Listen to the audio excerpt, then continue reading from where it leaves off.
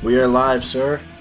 You. This is episode 92 of the Beef and Bitcoin podcast with your host Brett and CH. Today's topics. Uh, today is Bitcoin Pizza Day, May 22nd, 2020. I almost can't believe it, man. 10 years ago today, the uh, Bitcoin Pizza transaction happened. Unbelievable how much time has gone by. Um, also, this week we had some OG Bitcoiner move some coins that haven't been touched since 2009, and uh, obviously that spread rumors like wildfire that Satoshi moved his coins and is going to dump his bags on everybody's head. Uh, that that scared people, but we cans, we cans. And then, you know, that got me thinking, what's the future of FUD look like? Because I noticed so many people came out with articles explaining how uh, those 50 coins that moved were not Satoshi, and they, you know, they gave their explanation. Um, and but they jumped all over that really quickly, and the dip was bought up um, pretty quickly and pretty strong. So it, it got me thinking, all right, you know, what's in store for us in the in the coming bull run? when things are going nuts and you know we're seeing mainstream news articles come out of just the most ridiculous FUD you've ever seen, and I'm I'm really curious on your take of what they're what they're going to go for this time around. but uh, yeah, dude, happy Bitcoin Pizza Day, dude. Um, I would actually like to enjoy some pizza, to be honest with you. I'm pretty hungry, but uh, yeah, it's a pretty interesting time again. Here we are again. Uh, you know, twelve what eleven years now into Bitcoin, pretty much. We're getting close Yeah. to it. I mean, it's Yeah. coming in hot. It's pretty crazy thought. You know, I mean, you and I talked about recently. You and I have now been in this space for over three years, which is which is pretty crazy. But then you think about there's people who've been here seven, eight, nine, you know, years, Yeah. ten years, obviously. But it's just it's pretty incredible, and how much you know shit they've been through. Like, Oh my god, totally. Dude, like, I can't imagine yeah. being into Bitcoin any longer than I already have. Dude, if, you, if you if you've been in this since like 2013 or 2012, good for fucking you, or even earlier, obviously. Like that's that's. I mean, uh, this just like your, your life. You you know what I mean. Like your life changes after that. Like my life is totally not the same from what it was like four years ago. It's just not. Yeah. If you jump down the rabbit hole, you're just not the same person when you start coming back out. It's uh it's definitely definitely a wild time. But it's also I think why we love it, right? It's the whole point of the podcast. If if it weren't that much of a game changer or life changing, I don't think it would be worth talking about. And uh you know, it, it makes sense that we that we're here talking about it every week. Um, but yeah, dude, uh, just for anybody who hasn't been around long enough to know of Bitcoin Pizza Day. Maybe this is your first one. You found the podcast in the last year or so. Um, it's it, it's a really important day, right? Because it is. It's probably not the first transaction that paid for something with Bitcoin, but it's definitely the most notable. And uh, you know, ten years ago, Laz- Laszlo uh, Hanyecz made an offer on the Bitcoin Talk forums to pay ten thousand bitcoins for two large pizza, for two large pizzas. And uh, this guy jercos from the UK was like, "Yeah, sure, I'll take the ten thousand bitcoins off your hands." Uh, they were worthless at the time, right? They're essentially worthless. It was worth like forty bucks worth of Bitcoin, and uh, you know the crazy part is today. Do you know how much that those two pizzas would be worth? It's a stupid amount. What is it? Ninety million. Yeah, it's over It's, it's, million. yeah, it's, it's stupid. Absolutely ridiculous amount of money. Yeah. yeah it's um i think it's insane but it's really interesting to think about because it's the same thing that we talked about the other week with like the bitcoin stimulus if you threw the 1200 bucks into bitcoin how much would it be worth you know whatever time the the bots tweeting the pizza pizza day is like the same exact story except from on a way longer time frame. And you can see how much those two pizzas would be worth today and it's just like 90 million. If you're Laszlo you're probably like holy shit I can't believe you know. In in at that time he was one of the first people who was um, he like invented GPU mining. So he was just mining coins and uh you know made the offer. But I think it's important because it, it kind of does mark the the use of Bitcoin as a medium of exchange um, and it was just really cool to see it happen at a time when Bitcoin barely had any value at all. It was just somebody said, eh, I'll take the Bitcoins off your hand. And they, they were in demand enough to accept them um, as a medium of exchange. Uh, so uh, I don't know. Do you think, do you think it's like an iconic Uh, day? Oh, dude, wait, look at this comment. 10,000, that's quite a bit. You could sell those on bitcoinmarket.com for 41 US dollars right now. Good luck on getting your free pizza. Amazing. it's unbelievable. I mean, you, you got to give the other guy a ton of credit, right? For accepting uh, accepting the bitcoins. I mean, it was almost you do it for fun. It was as an example, like, oh, let's test this out. Like, can someone accept bitcoins for the payment of a good or service? And like, it, it, happened. Somebody was willing to do it, and that was that was the start. I think that was one of the you know it's the most notable transaction for the the Bitcoin circular. A great milestone has been a great dude. I, I used to love trolling for like I used to do in forum shit like this, and this is just great. Just like a decade ago, a great milestone has been reached. like just the ridiculousness of this and you don't you don't even realize what it like. You know, you look back on this from like, what it time. meant at the time. It didn't, yeah. it was you know it was meaningless. It was, it was a meme. It was it's a, meme. meme. Yeah. Exactly, it's a meme. It's worthless. It doesn't mean anything. Forty one dollars, no big deal. It, it, just blows my mind that it it's come so far. But it, it got me thinking about some other topics, and I wanted to get your take on them. It's like, you know, you you see that you're Laszlo, you look back, and you know, I guess you can regret it, right? Ten thousand bitcoins. It's it's unreal to think about that many bitcoins. Honestly, I can't even fathom. But um, you know, it, most people end up regretting spending their Bitcoin. At some point, you always look and you're like, "Fuck, I can't believe I bought that stupid T-shirt," or, you know, whatever. But uh, at what point in time do you think people will not regret spending their Bitcoin? I mean, anyone who sold Bitcoin above 10k, you know, any time in the past whatever few years, is probably pretty content for now. You know, like people who, you know, you know, those people like post on Twitter like, okay, I'm selling one Bitcoin here at 20k, or like selling a few here, like you know, they're pretty content there. I mean, I, and I know it's not that much because obviously there's people who trade trade, pardon my language, but retarded size. Like, I think I sent you something about that recently, right? Yeah. Yeah. No, it's it's ridiculous when like that's what people understand. Like markets are driven by people who have large pockets. Like and we see it in Bitcoin. Bitcoin's a small enough market that people with tons of millions of dollars. I mean, that can happen in any market, obviously, but in Bitcoin, right. they can just you know prop markets up or drive them in one direction or another. yeah, it's insane. No, it's, it's uh, yeah. I guess you made a good point. It's it's like you know, I guess if you sold above ten thousand or close to the top, yeah, maybe you're you're not doing too bad. And I even I heard, or you wouldn't regret buying something with Bitcoin, right? I heard an interesting story of somebody who bought a Ford Raptor like close to the top in 2017, mm. and then they sold the Raptor like near the bottom at you know call it four thousand, and then so you basically cashed out. You you bought a Ford Raptor for call it I don't know two two bitcoins, forty grand, and then you sold it for how many bitcoins at the at the bottom, and yeah. it like year end or dude, you know the beginning of 2019 probably, probably spent like four bitcoins on it to be honest dude. Those things are going the new ones were going for like 75 was, 80k dude. It's yeah, yeah so I was thinking like four BTC used, but yeah for sure. Oh well, oh I didn't know if you bought I thought you were talking about the new Raptor. Well either either way yeah, it's just no. an interesting way to all of a sudden you're you're you turned your Ford Raptor into a store of value for like 18 months. Is that how you're gonna? Is this how you're gonna trade future future Bitcoin bull markets? Are you just gonna every time you feel like there's a top, you just sell and buy a car and then sell it back and then buy a bottom?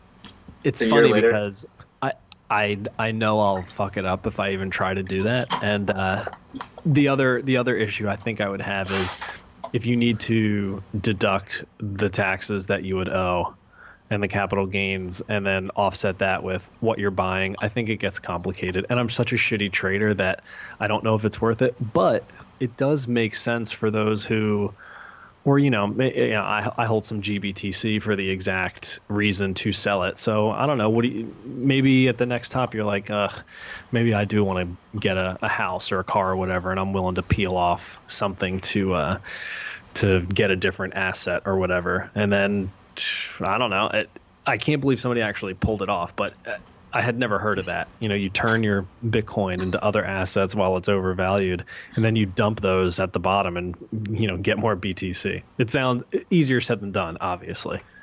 Yo, so crazy thought. Um, if this six month candle can close above like thirteen thousand two hundred and fifty or whatever, that's gonna look pretty ridiculously bullish. So by July first or whatever, June thirtieth, you know, 8 p.m. EST or whatever.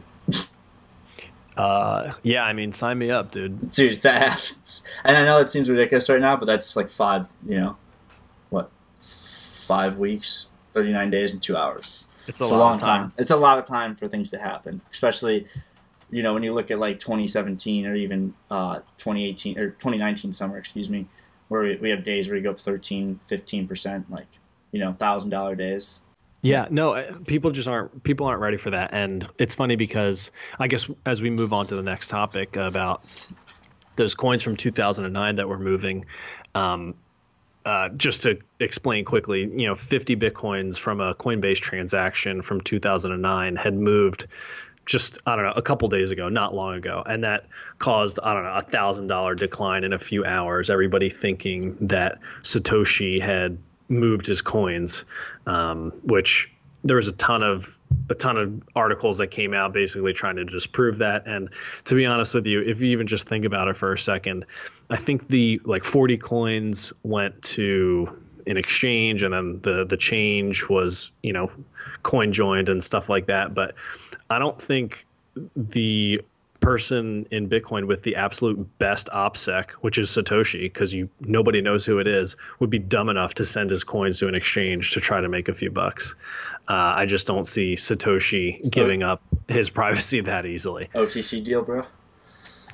yeah, I mean maybe. I just like you'd know those coins, you'd be able to just track them. I just it it, it just seems like a seems like a bad idea. But it's also and you have this uh, this article up from Jimmy Song that he wrote, and you know I don't I don't want to get into too much of it because it's super technical, and they were looking at the It's- nonces of all too the different. much for me. I just Yeah. basically like you know there were more people mining in 2009 than you think and anybody who decided to run the software on their computer and literally there was a, a button that said generate coins and you click that and you were you were mining right away. Um, there were a lot of people out there who were who were doing this and it's amazing to see that coins are actually still moving or th- coins haven't moved in 10 years and every time they do move it's it's going to be like a like a little celebration almost. It's like holy shit i can't believe somebody moved some coins. Um, and you just you start asking more questions like well how many other coins do they have? Did they did they mine other blocks? Um, you know who was it? Do do we know them? Are they in the space? Are they are they speaking at conferences and we'll just never know who it was? I mean it, it's it's amazing to have the transparency of the bitcoin blockchain but then also the pseudonymity of you really just don't know who it was at the end of the day. I just think it's it's really cool to think about Yeah, no, it's pretty. Uh, it's a pretty crazy thing that it's a it's a public ledger. So you know everything if you can put a face to it or put a name or something. Uh, you know it is technically. I mean, obviously, as you said, we don't know who Satoshi is, but you know if those coins move per se, someone you know someone obviously is moving them around. So Yeah, I, I can't believe somebody could hold their keys like that long. I even or you know, if they just lost them hypothetically. Well, you know, that's an interesting topic because on one hand, there's a there's this big assumption that there's a lot of coins that will Oh, just never move again because sure. the point because like the the keys are lost, right? Either you threw out your hard drive or I mean, storing Bitcoin was not easy in I mean, it's still not easy. So you're talking about it was really a shitty experience from 2009 till probably the first hardware wallets came out. It was like an average person would definitely have some difficulty trying to figure it out. So a lot of coins are definitely lost. Think about the time though. If you started mining in like March 2009, and you know Bitcoin doesn't do much for what a year and a half, really. yeah, it had it had no price for a year and a half. Yeah. So you literally just mine these nothing for a year and a half and don't think much of it. And then what? Maybe it finally gets a price and starts moving up. But even then, you know, you don't think of much of it because think about how long you know you're talking thousand days and it still hasn't really done much. It- I mean, maybe by then, by a thousand days, it had more of a price. But you know what I mean? That's still a long time. That's over three years. Or close, you know, a little over under three years. I mean, even if you're you're holding at your market price was whatever you paid for the electricity to mine the coins, right? And and the price breaks one dollar, and you're probably like, "Holy shit!" Yeah. Imagine if you sold those coin, sold Yeah, all yeah, those well, coins at if you had, ten like- bucks. You you you're up You're I a don't genius. know, dude. thousands of Yeah, percent. well, think about it. You you mine ten thousand coins and you sell them at ten bucks. You spend hundred k and you think you're a genius, and then fucking Bitcoin goes to a thousand in 2014.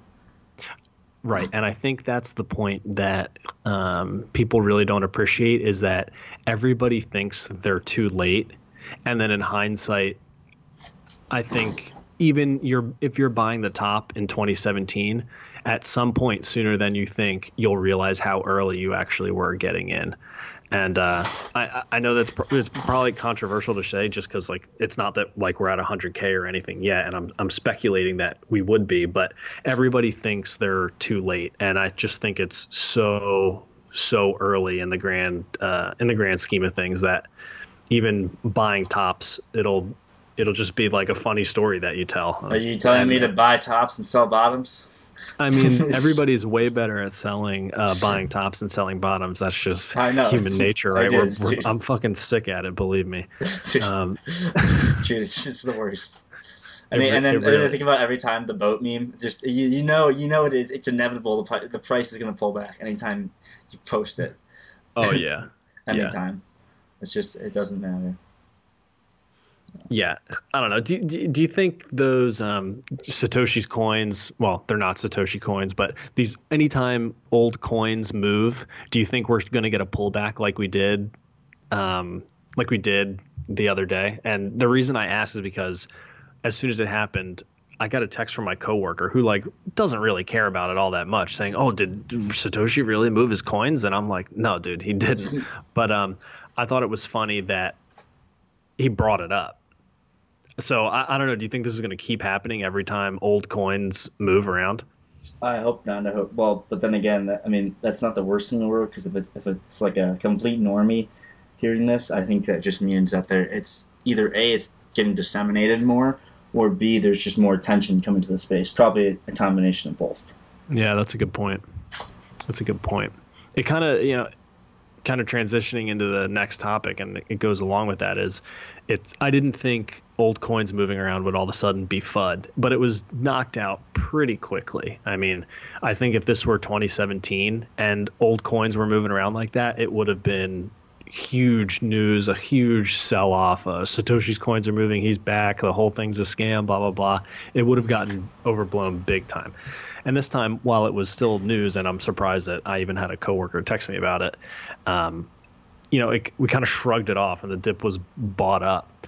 Um, but it does make me fear the future FUD, right? What does FUD look like during the next bull run?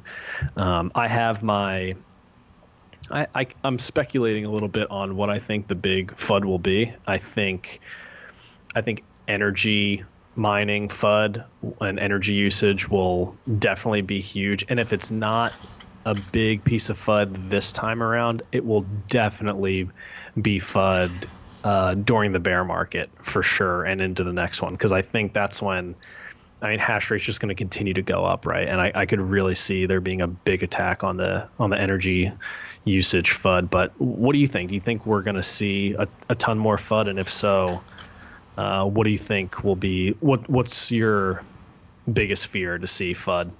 Uh, I mean, I think the usual stuff like the Bitcoin can be hacked is, is going to be a stereotypical one. I mean, theoretically, yeah, you can get coin stolen, but the hacking part, as we've talked about before, you need a lot of money and a lot of power, you know, to be able to do it. So, good luck, I guess, would say for now. But I mean, there's what what else did we hear in 2017 that you know was in 18, I guess too. Uh, you know, the banning it is always a big one, uh, and I think that's China a ban, realistic China concern, ban. right? Oh, the China ban. Yeah, China ban might be done where no one's going to care about that anymore because it's happened so many times. Um, although I am concerned about Bitcoin being banned just from a a short term, like fuck, I don't feel like living through a huge pullback of um, either a rumor that the United States is banning Bitcoin or something like that. And I, it, I definitely try to make sure I keep myself in check that it's a very real possibility. I mean, Executive Order 6102 happened where um, holding gold was illegal and it was confiscated and you didn't have a choice. And, like, you know, totally that can happen. Um, and I think the only way to combat something like that is. Um, to get Bitcoin in the hands of as many people as humanly possible, especially people, rich people. Uh, I don't know how other how else to put it. You want Bitcoin in the hands of um, politicians. You want it in the hands of very rich people who get a sizable position who don't want to give that up, like a Paul Tudor Jones, for example. If his two percent Bitcoin position all of a sudden turns into I don't know, five hundred million dollars worth, or even a billion dollars worth, because he took a hundred million dollar position, and it realistically it could it could get um, up that high. Um, you're sure as shit going to spend a hundred million dollars of that paying lawyers and greasing whoever you have to grease to make sure that you get to keep those coins. Mm-hmm. It's pretty, pretty uh, insane. I, you know, again, I as time goes on, I think just and you talk about the Lindy effect. I think just more and more people get attracted to the space and they see the use case for it. You know, the ability to just send money, a remittance anywhere at any time, is huge, and it's just frictionless, is what it is more than anything. Yeah, I think people underestimate that. Um, it's it, it's for the transactions that you're not allowed to make, right? And I, know that maybe for you and I, it doesn't really matter as much, right? The even though I hate sending wires, the experience sucks. Yeah. And Bitcoin's so much. It's a, it's a 10x improvement, or if not more than that, because I can send it on the weekends, 24 hours a day, seven days a week.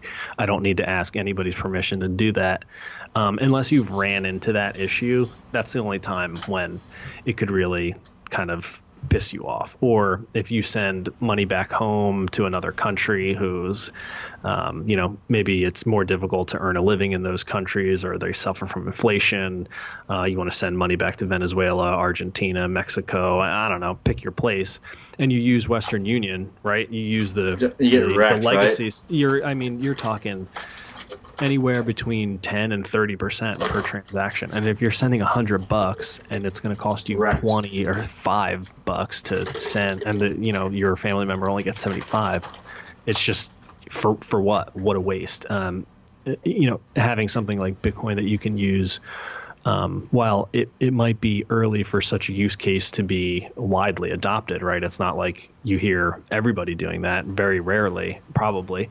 Um, it's just it's possible, and and you can do it today, and uh, I'm glad that it works. But it's just such a big use case that's overlooked, and I and I hope that to combat, you know, to stick on the topic of future FUD and what that looks like, um, if someone's really attacking Bitcoin in a negative way, that it's oh, for criminals and blah blah blah, I think it would be nice to turn that around to someone who says Bitcoin's only for criminals and say, oh, so are you trying to say that um, immigrants who come to the United States and want to send money back home are criminals? And like that kind of do it diffuses that FUD almost instantly because those are the same people that someone who would say Bitcoin's for criminals, uh, like try to say that they're sticking up for them, right? So you you got to really do like reverse FUD and and attack, you know, the legacy system. And well, you know, if you, it, if it was done your way, um, that same uh, person is going to have to spend 30% to send money back home to grandma. So is that what you want? Is do you want to take money out? You know what I mean? You just have to totally turn it around back on them. Um, and I think people are going to get better at fighting FUD. I, I hope I get better because I dealt with a lot of bullshit in 2017 and 2018. And Oh, I I'm just, sure, dude. oh my god, Oh yeah.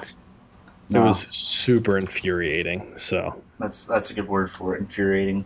Just just dealing with normie talk. One would say. yeah, dude, like I don't know how many times you can hear about the about the criminals and all this stuff, and it's like, it, it, if anything, criminals prefer the U.S. dollar by a large margin. It's their favorite way to conduct criminal activity, actually. Yeah. and it, It's not even you know, close. It's like yeah. not even close. it's not. and no one even It- talks about it. It's not even close, dude. It's not even close. Yeah, it, it's.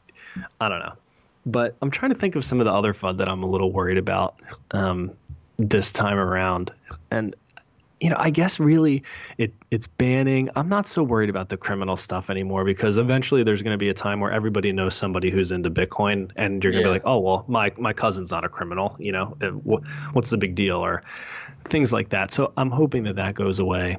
I also the one that scares me is just the the energy mining FUD because we saw how big the whole climate change thing was was being pushed down everybody's throat not for bitcoin but in 2018 2019 and even in the beginning of 2020 um, how you know that's a very controversial and triggering topic to a lot of people. And uh, that's probably my my biggest fear with that. But the good news is is that you have so many companies who are trying to partner with um, energy producers. And, you know, the oil and gas industry is my favorite one because you have uh, those folks who are dealing with struggling oil prices and they are heavily regulated to the point where they can't even um, flare the gas that uh, that unused energy when they're you know doing oil and gas production and they uh, they're hit hard with that. And the more they flare the more they get taxed and they're limited. They can only do so much. And now you have companies who are figuring out how to put mining rigs in a box pretty much and you take all of that flared um, gas and methane that would have gone into into the air and you um, you use that to power bitcoin mining rigs. And all of a sudden you've monetized that. And uh, you know i heard this term. I wanted to tell you what it was because i thought it was pretty brilliant. It's a digital pipeline and when I heard that, I was like, oh, you know, that was a pretty heavy hit. You know, a digital pipeline is a really good meme to push back on the the energy FUD.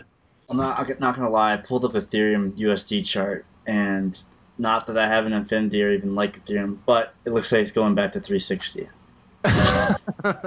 I'm just looking at again, no bias on this. Just looking at the chart. I mean, there's still two days to close on this, but still, I mean, it's it, we're gonna have all I know is like the next six weeks are gonna be a heck of a time into the uh, six month close into July. It's just across every asset class, whether you're talking crypto and Bitcoin, uh, you know, commodities, precious metals, and obviously stonks. Dude, yeah, it's no. I'm, I'm telling you, man. I, I don't think again. I, I I don't know if I mentioned this to you, but I have like a few friends who've texted me in the past few weeks, all the same thing. I have to get rid of my bearish bias and I told other people the same thing like a few months ago. That uh, look at this chart. When you look at the S and P, it's just like I mean, you look at the two week. If you haven't been long for since the end of you know March, you've been wrong, and people have just been shorting every uptick. I had a few friends text me about it, and I'm just like, you guys are. I'm just telling them, I'm just doing too much. I'm like, you guys are fighting something you can't fight. You know, again, it's who you know. It's about who has the money. You know, at the end of the day, every market's manipulated, and people hate accepting that. But that's just the reality. Every market is manipulated. Once you accept that, things get a lot easier.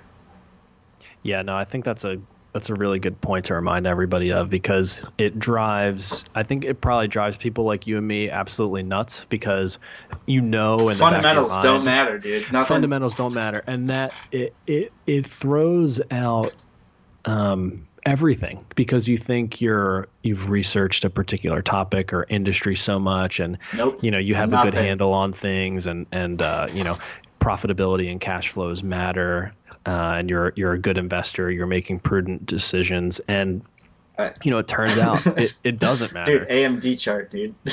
Six months. Like look at that. that dude that's price discovery. Like like i'd be foolish to think it doesn't go to 100 at this point. You know just looking at this with no bias just because it, it, it's only like you know it could be two months away from there knowing AMD's movement. Dude, Nvidia, look at Nvidia now. I, Nvidia looked dead not too long ago, and now look at it, 360. Like what the fuck? Oh, fuck your bearish and golfing. That's what fucking Jay Powell says to everyone. look at that. Look at that. You think it's over? Nope. and it, it's funny because it's it's just six month bears and golfing. Fuck you is what Jerome Powell said to everyone. yeah, it, it's unbelievable. It's just when you think about all the credit expansion and you know even it, it, it's really not even that you know money's being printed and then used and purchased. It's the investors are going under the assumption that well they're just going to get bailed out anyway. What's the difference? Let's just FOMO in. Our dollars are becoming worthless. Let's just buy whatever we want and not even think twice about it. Oh. And it's it's scary because the fundamentals don't matter. I, I, I guess that's the only way to really think about it. Yeah. Um, the fundamentals don't matter, and it could. It's gonna end badly at oh, some. no, dude. I just when don't. You look at, like, you okay. know, like. I mean, like, like, let's look at a yearly chart of like Amazon. Like, you know, what what happens?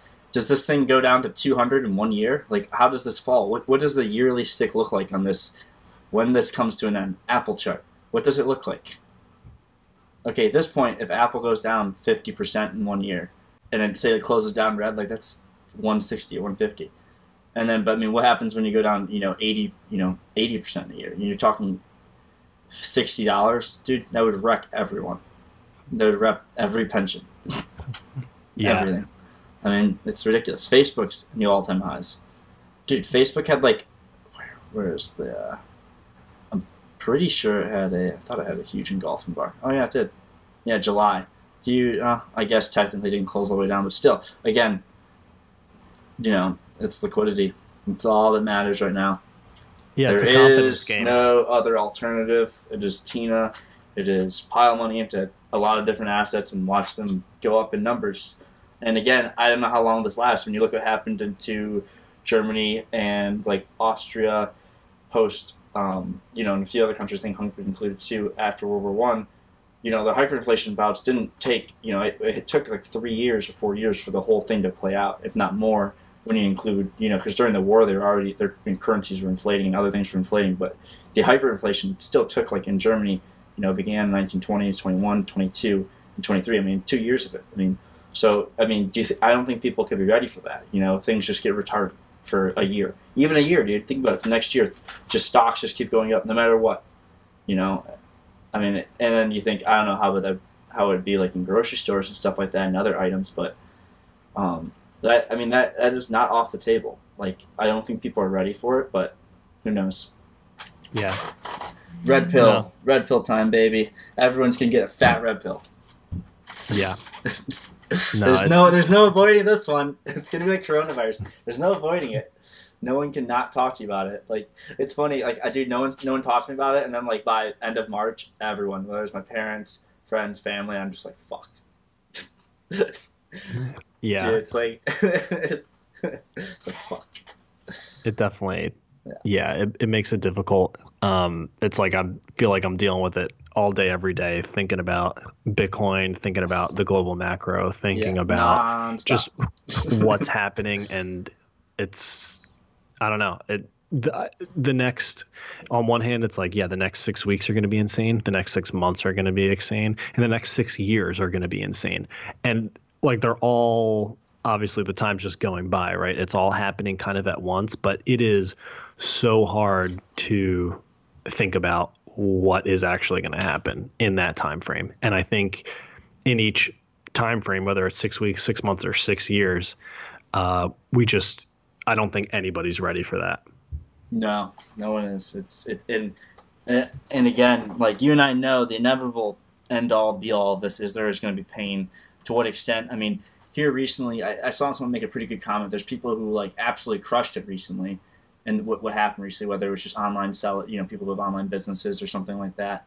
Um, you know, like, and uh, like I know a close family friend who's like, you know, they've just all they've been doing is nonstop. You know, he does international business, so but just nonstop on the phone all the time you know so there, there are people who are really taking advantage of this and you know again i i think that's part of the reason probably you and i research what we do is you know take advantage of things that most people don't even think about and it, it's that sounds wrong but it's not really what it was supposed to sound like it's you know to understand like inflation understand you want your money working for you in some set of form like for you it's you know holding bitcoin to fight against inflation or for other people it's holding gold or holding stocks or holding real estate, etc., or having businesses that give you income, you know, and then if you want to eventually sell that business, you sell it for what EBITDA or something like that, you know. So Right. Yeah, crazy times ahead, dude. Uh, yeah, I don't know. That's probably a good way to wrap this one up. Uh, Yeah. Happy Bitcoin Pizza Day, big day. Um, glad everybody's still hanging in there. It can, I, I can feel the excitement in the air, honestly, and it's like we're just getting ready for summer. Um, you know, it, it's great. I'm fucking pumped to keep recording. I'm pumped to see how everything starts playing out. Um, it's just it's an exciting time. I, I I can't describe it any other way. Interesting times ahead is all I have to say. Get ready, hang on. Yeah, buckle up, that's for sure. That's all I have to uh, say. Yeah, make sure to like and subscribe on YouTube. Uh, leave us a review on Apple Podcasts. Uh, drop us a comment on YouTube. Send us a DM. Let us know what you want us to talk about. Definitely helpful when trying to come up with the uh, the topics for the show. So we do appreciate that. And yeah, get outside, enjoy the enjoy it. Summer is coming. Um, yeah, Enjoy Memorial Weekend. I know it probably won't be up until I don't know when, but enjoy your Memorial Day if it is Yeah. by then. Happy Peace. Memorial Day. Yeah, Peace. happy Memorial Day to our non-Americans. Peace.